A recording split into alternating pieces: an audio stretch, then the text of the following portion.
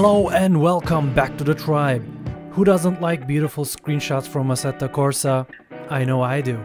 The part where I have the most fun during content creation process for Assetto Corsa is to be able to capture picturesque and attractive screenshots. Dare I say maybe many of us play Assetto Corsa just to make beautiful screenshots and share them on their favorite platforms. My fellow tribesmen in this video I give you 7 picturesque showcase slash screenshot maps mostly from the modder DDM for Assetto Corsa in 2022. So sit back, relax and enjoy this beautiful map selection from your tribal chief.